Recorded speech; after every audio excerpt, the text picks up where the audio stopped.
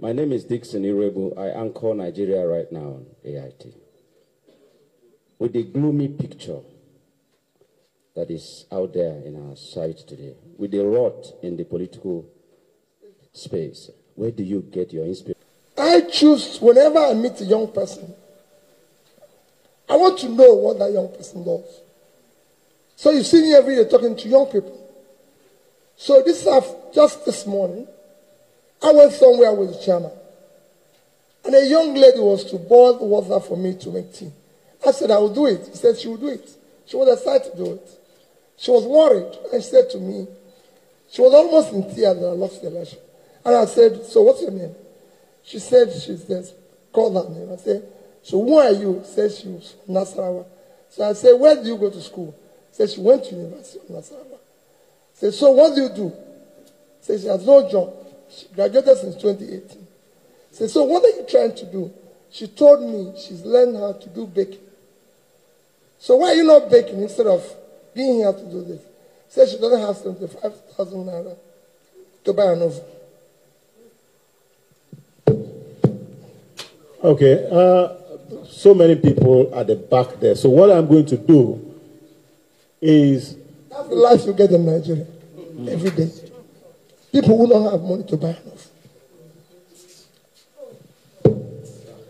Okay, so um, those are the back, I'll recognize two people from the back so that you can, because of the time it takes you to move, you be coming. Let me call someone here while you are coming. Good morning, Your Excellency. My name is Dixon Irebu. I anchor Nigeria right now on AIT. With the gloomy picture that is out there in our sight today, with the rot in the political space, where do you get your inspiration and your strength from? Nigerians want to know, please. Of course, I get my inspiration takes him from the young girl who doesn't have 75,000 naira to buy an oven. When people like me can sit down in a place and drink a bottle of wine that is costing that amount in the same country. When people like me have stolen billions of public money, I would have bought an oven for that young graduate. So that's where you get your inspiration.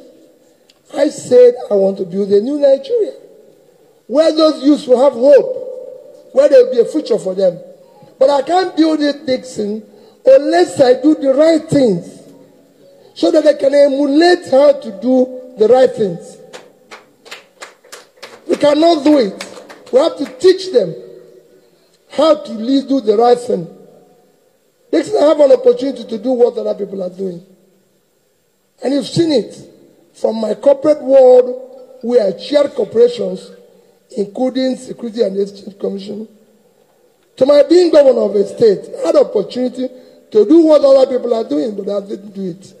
Because we have to live and show an example. And use the resources of the country, public resources, for public good.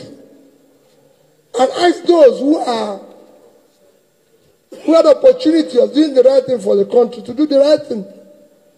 If we have a security man, he should do his job. If we have somebody to conduct an election, I've been an observer of election in some of the West African countries. Dixon, it wasn't anything near this. Is this what we spent billions to do? Hey, what a minute.